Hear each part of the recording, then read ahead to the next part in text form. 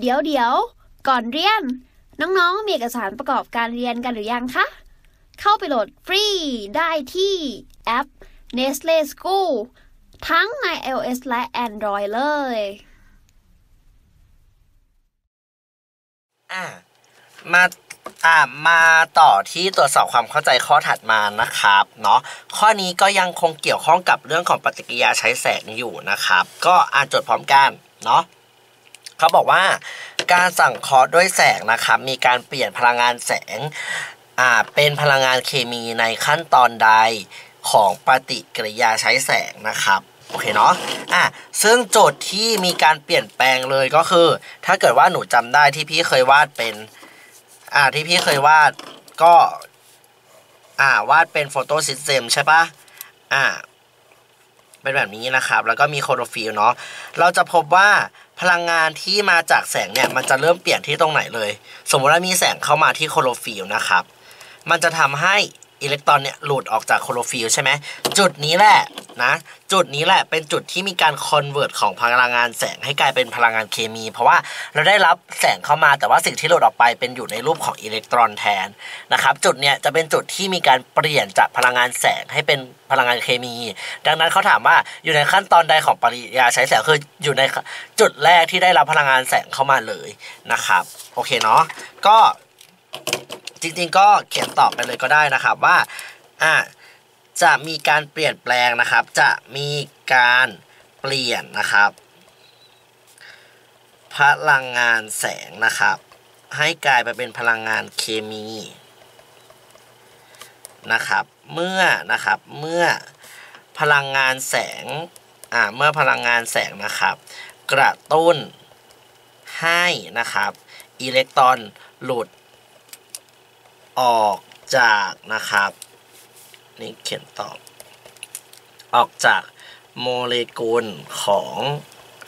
คลอโรฟิลล์ใน photosystem ต่างๆ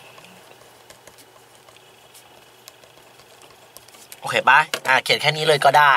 นะครับ จะมีการเปลี่ยนพลังงานแสงให้กลายเป็นพลังงานเคมีนะครับ เพื่อพลังงานแสงเมื่อพลังงานแสงเนี่ยกระตุ้นให้อิเล็กตรอนเนี่ยหลุดออกจากโมเลกุลของคลอโรฟิลล์นะครับ ใน photosystem ต่างๆนะครับเนาะหรือว่าใครจะเขียนวาดรูปก็ได้ซึ่งมันเป็นรูปที่พี่ชอบวาดนะครับคือมีโมเลกุลของคลอโรฟิลล์อยู่ใช่ปะ อ่ามีโมเลกุลของคลอโรฟิลล์อยู่เนาะแล้วก็โมเลกุลของคลอโรฟิลล์เนี่ยได้รับพลังงานแสงเข้ามานะครับเนาะแล้วสิ่งที่จะเกิดขึ้นก็คือ จะมีอิเล็กตรอนเนี่ยหลุดออกไปจากอ่าคลอโรฟิลล์นะครับก็จะเห็นได้ว่าตรงนี้มันเป็นการ convert แล้วเนาะตอนแรกมีแสงแต่ว่าตอนหลังมันเป็นเคมีนะครับเนาะมีการ convert แล้วที่จุดจุดนี้นะครับโอเคเนาะอ่าอาจจะเขียน mention ไว้ก็ได้ว่า ตรงนี้คือ excited state เนาะ excited state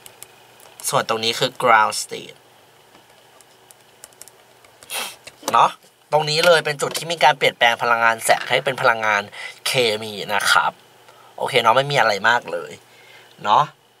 โอเคเนาะบางคนนะครับบางคนอาจจะตอบว่านะครับจุดที่มีการเปลี่ยนแปลงพลังงานแสงให้เป็นพลังงานเคมี คือจุดที่เริ่มมีการสั่งเคราะห์ ATP แล้ว